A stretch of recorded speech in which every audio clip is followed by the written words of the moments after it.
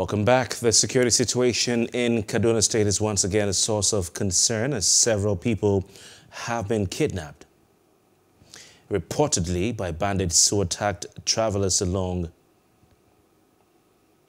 the Kaduna Birnin Gwari Road in Kaduna State. Sources said the bandits blocked the highway on Tuesday and in the process set about eight vehicles ablaze. Uh, they were said to have later taken away an unspecified number of travelers, mostly women and children, to an unknown location. Now, although the police authorities in the state are yet to confirm the incident, it is unclear if any life was lost in that particular attack. Now, the chairman of Birnin Gwari Vanguards for Security and Good Governance, Ibrahim Nagwari, confirmed the attack in a statement he issued.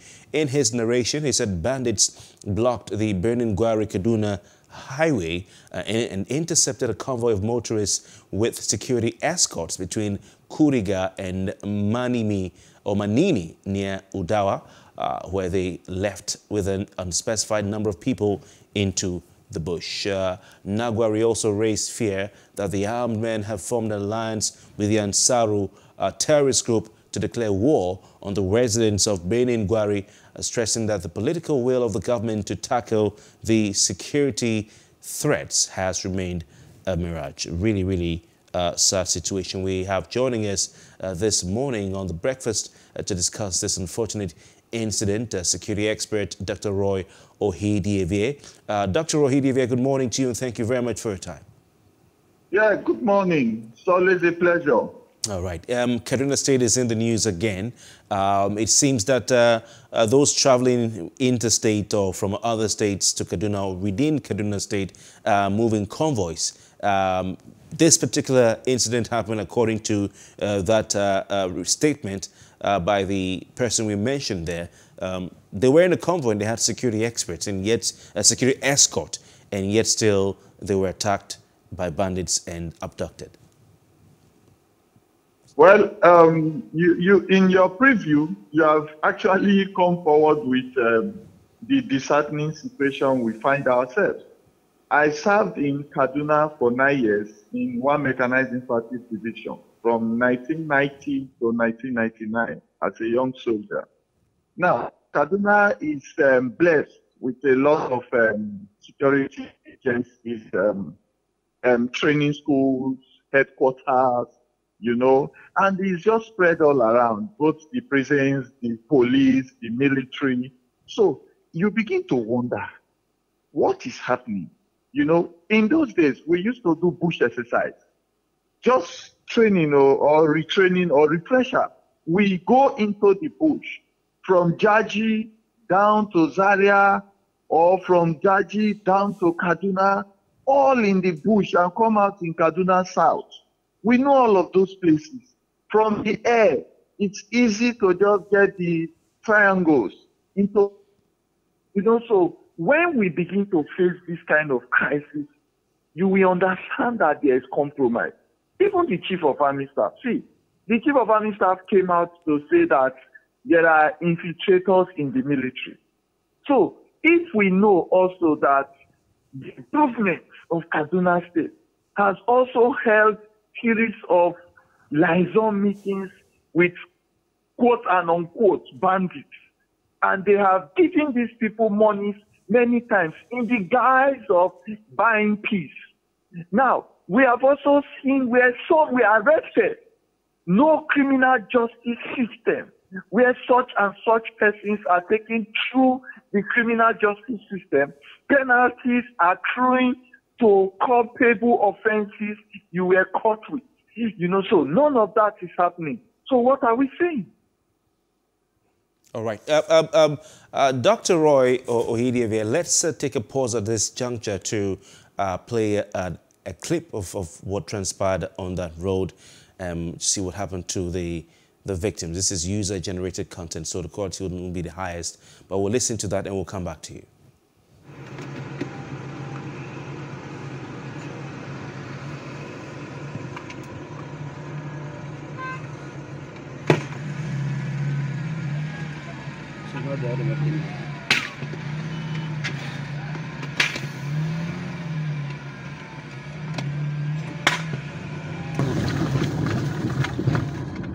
Shiga shiga shiga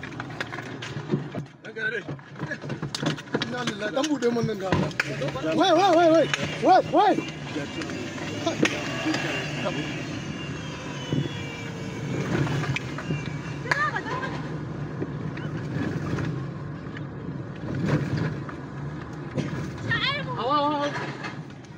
Hau da sauri. Hau sama, hau sama. Hau sama. Kota, kota, kota. Wai, wai.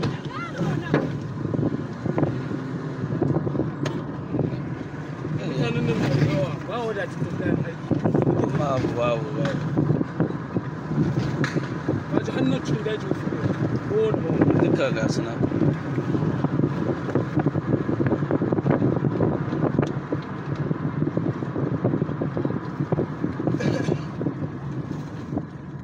shi kai ka shiga kai da bindigan ka ne. Ko ta kare da bashashin ko da harbi ɗaya ne kai a nan All right, uh, Dr. Roy Okhidievbie, uh, you're online, so I'll just do a, an explain, explain of what really happened happened in that video. Uh, you had uh, one of the, um, uh, the the people in the car where the video was being shot shouting "Shiga, shiga, shiga," which means enter, enter, enter. And what happened was that um, the clip shows passengers who deserted their vehicle and were running away. Maybe they've been running for some time. Someone come with a vehicle to ask what's happening and you know, offering to help them because they've been running away from some sort of danger uh, for some time, lots of them.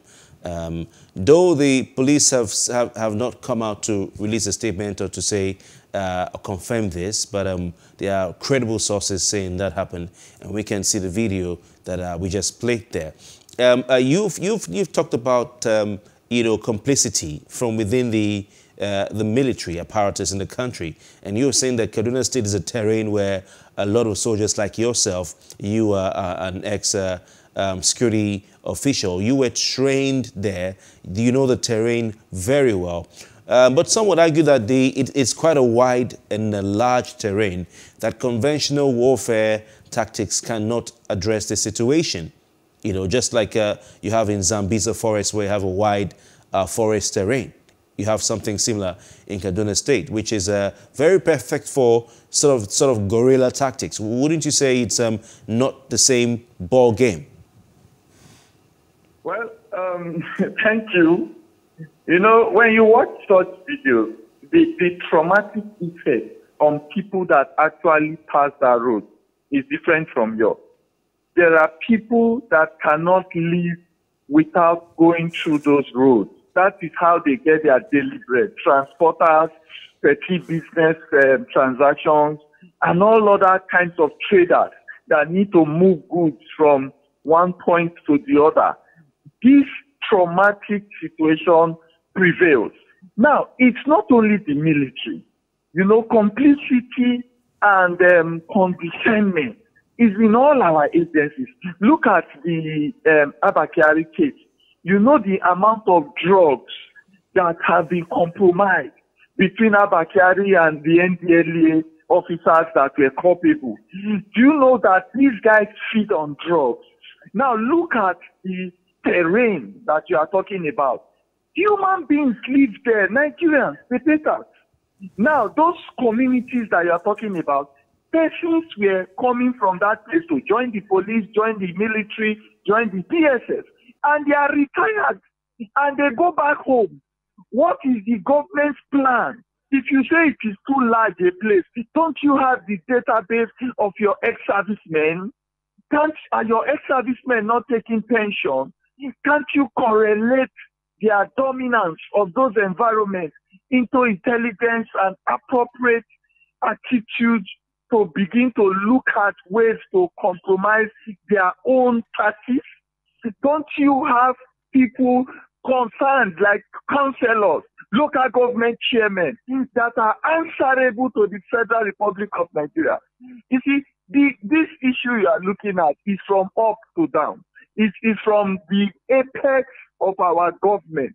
This compromise, this lackadaisical attitude, you know, and if you don't implement penalties, you can never stop criminality.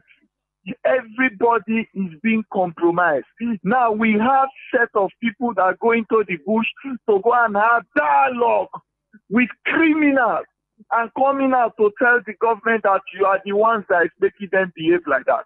We have the man that was just released now in the East, the elderly man, the, the priest or uh, deacon or archdeacon or something. Now he said that those guys said, we don't have problem with you people. It is the Nigerian government. So if the government is being mentioned in all the interviews of bandits, terrorists, criminals, lawless goons, why will the government not address it? Now we are all looking at 2023, everybody sharing bundles everywhere. We are forgetting that there are people that were kidnapped in Kaduna in the school near Defense Academy. Hmm. There were people kidnapped in Defense Academy. Hmm. There was a train blown off track and the people taken into captivity till date. And some of them were released. You know, those ones that were released, what did the government do to track some of their activities? What did the government do till date to release the others that are in captivity? See, we, we cannot continue uh, flogging this issue. The government must wake up to its responsibility.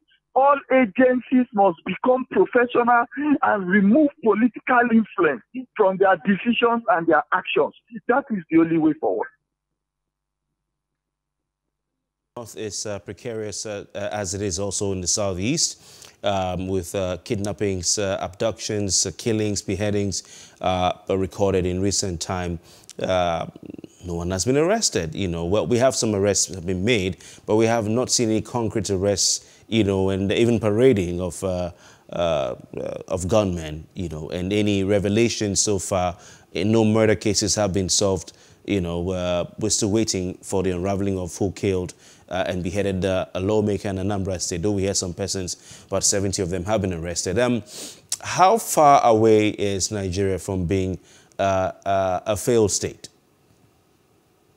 Well, um, I've had that argument and that discussion. Now, you see, there is, um, someone said there is difference from a failed state and a weak state. You know, so for me, I believe that the breakdown of law and order is when you are beginning to say you have a failed state. The inactivity of the security agency, not because they cannot um, attack criminals, but because they cannot even dress up to go to work. That is the time you begin to look at it that you have a failed state. Here you will have flags of different groups posted in different parts of the country, holding ground and claiming territory within the territorial integrity of this country. That's the time that you begin to, to see that you have a failed state. But for now, I think it is an abuse of office. So many of us are in office that we don't know the relevance. no, and we don't carry out professional ethics. In the police, there are ethics in the military, there are ethics, even for promotion, for deployment. Do you know that some soldiers are in front line for three years, four years, five years? What are you doing there? They become criminal with the people. You know, they start to do business with the people. Do you know that some police officers, they are not promoted and they are still allowed they are disgruntled and they are still allowed to carry arms. Nobody does psychological review for our armed men. No, do you know that none of the police or military in all the training institutions, I have not seen NDLEA asking that they do drug tests. Mm-hmm. Do you know that there is no review of financial transactions? If there was, how come Abba could amass all those properties and all those monies they were transacting with? So there are no reviews. How come military officers could have such an amount in his account and be withdrawing bundles of money and moving them around? So there are no financial tracking. Everything is just as comatose. All we hear about is we will rejig and we will restructure the security architecture. That is a fallacy. All right. Um, uh, what stands in the way of um, the authorities, federal government, declaring uh, uh, a total lockdown in Kaduna State, um, or a state of emergency like had been declared in the time of Olusegun Obasanjo in Plateau State, something similar in Kaduna State, a total lockdown and um, uh, a, a, sort of a surge, you know, a military operation um, to to rid the state of these uh, criminals. I mean, remember in in, in the United in, in Iraq in 2007, America had what you call a surge where uh, they deployed 20,000 more troops to Iraq and they focused on Baghdad, you know, in the bid to secure Baghdad. Uh, um, a, a, special military um, operation. What stops the federal government from doing something like that, locking the entire Kaduna state down and then deploying the full weight of the military there in an operation that may last weeks or months to try and rid the state of the criminals? Well, for Kaduna State, you will understand that there are lines. According to some people, they say there are lines that you should not cross. the, the ethnicity is a challenge. Once you are Hausa or Fulani, there is a design that you cannot be touched, you know, because you are in your terrain. Then there is the religion. The religion itself has now seen abuse because these same elements of criminality, they go into mosque, they go into, into the Emirates Palace, the heads of the community that are also Muslims, and they adopt them. They rape their women. You know, so can you remember the, the children that were uh, kidnapped from schools? You know, so you begin to see that the compromises are all these lines that people hold too dear to agree for an outside professional assessment to review criminality. You know, so if you are from this tribe and you begin to do something and you say, I am disgruntled, they will look for someone like Umi to come and start talking to you. Why are they disgruntled? The disgruntled people in the Niger Delta, they were complaining of abuse of resources, violation of the the sanctity of their area, water, land, you know. And if you see when all of that came into the NNDC, the same people that were from the South South that were asked to head the NDC were siphoning the money. So Nigerians are naturally criminals. But once it drops towards ethnicity or religion, it becomes a problem to handle. And that compromise is what is destroying the opportunity to nip these things in the bud in Kaduna. Hmm. Uh, uh, Dr. Okhidievbie, what has happened to the nation's intelligence apparatus? Um, we've not seen any names as far as the banditry uh, or terrorism as it's uh, being defined by a court is concerned. We've not seen any profiles. Um, we've heard of Ansaru, which is a new one, uh, in addition to Boko Haram and uh, ISWAP. But we, are not getting information. We're not getting seeing briefings or what is going on with the nation's security and intelligence apparatus. I'm sure you're very well aware of workings of that, that, that uh, sector. Well, if you look at the at apparatus, that's why I always say that there's no need to restructure or rejig. You know, we have the DSS, we have the NSA to oversee, we have the ICPC, we have the EFCC, we have the police. In the police, you have the SFU, you have the special crime bosses, you have the armed combat unit, uh, even the SARS that was just restructured now that didn't see the light of day. You know, we have the, the customs, the immigration, NDLEA. Those are the apparatus that we have. They are existing, you know, and I tell you, if you remember, you can go online and check. There are key officers of all of these apparatus that have retired that keep saying that intelligence is robust it is not actionable. Intelligence gathering is robust.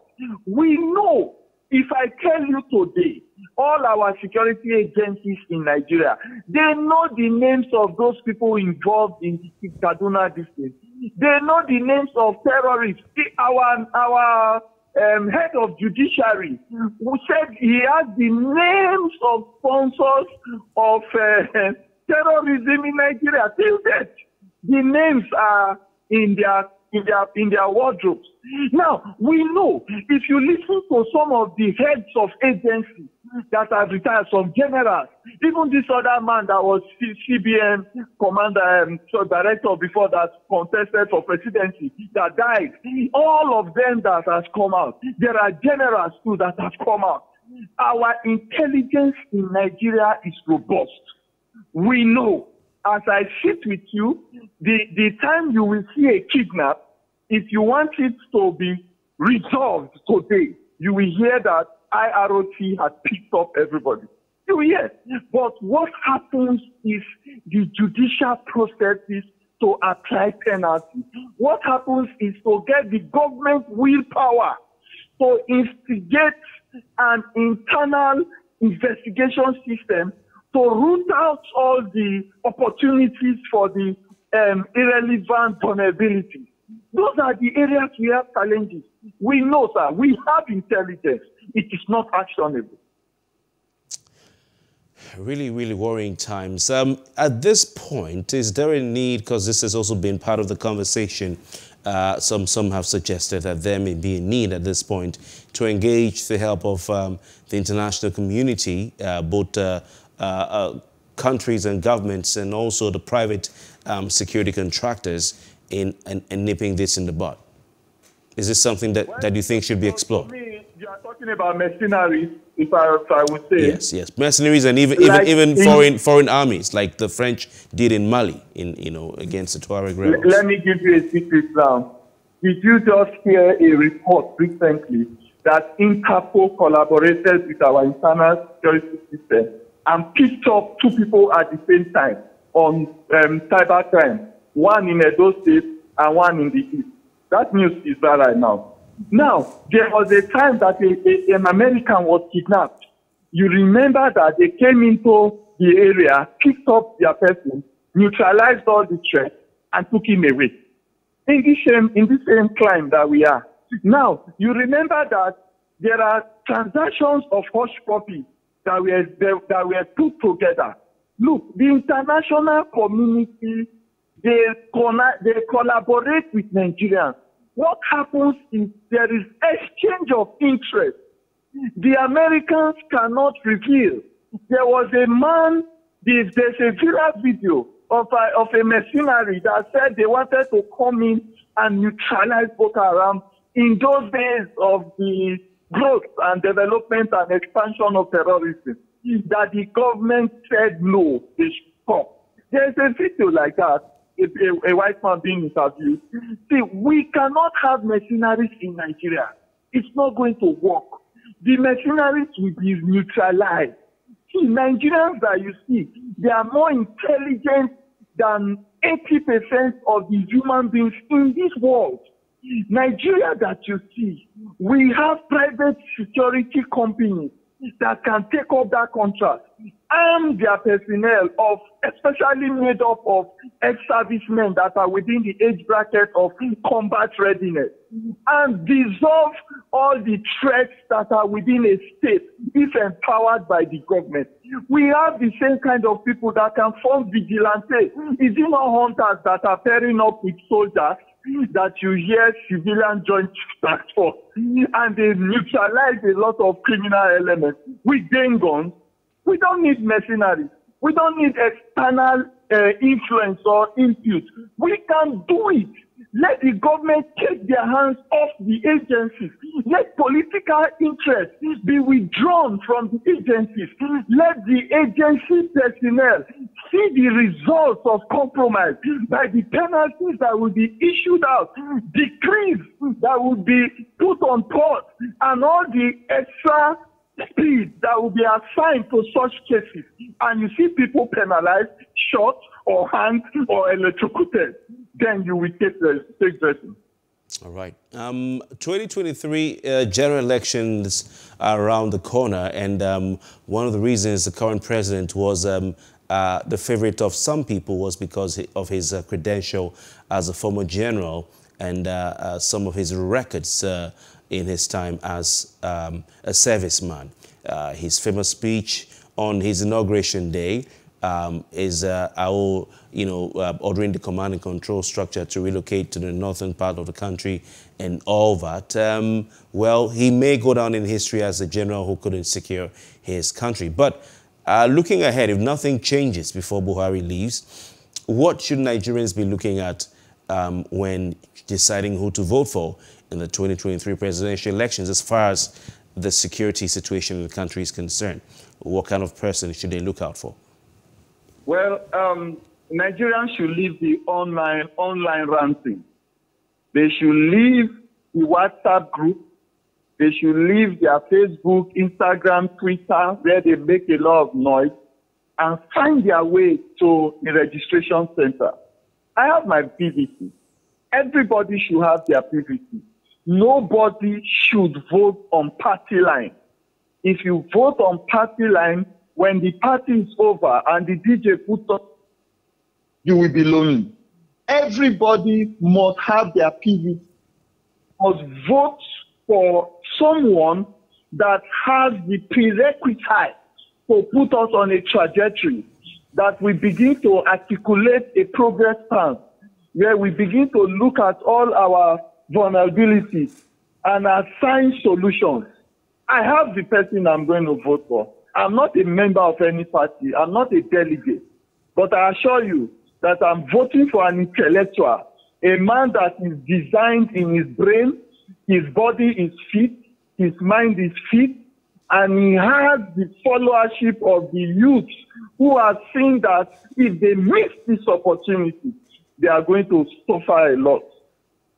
All right. All right. Um, um, Ambassador Dr. Roy Okhidievbie is a military veteran, um, security consultant, and uh, analyst. Thank you very much for your time. It's been a pleasure having you join us Always on breakfast. Pleasure. Thank you very much. Thank you. Interesting times uh, for the country, and uh, you know, lots of people having a plan B. What's the plan B? It's just to exit the country, to relocate, to go abroad, and um, will everyone, you know, travel out? We have a decision to make in 2023, and uh, the fate of the country hangs in the balance and rests on what Nigerians decide in 2023. The work starts now. We don't have to wait till 2023. The work starts now. My name is Kofi Bartels, and that's the size of a package on the breakfast. And don't forget, you can follow uh, Plus TV Africa on Facebook, Instagram, and Twitter. Simply search for Plus TV Africa on Facebook, on YouTube. We are at Plus TV Africa. If you'd like to watch a live stream on YouTube, you can visit Plus TV Africa Lifestyle. From all of us here at Plus TV Africa Studios in Victoria Island, Lagos, thanks for joining us. We return tomorrow. Up next is the news at 9.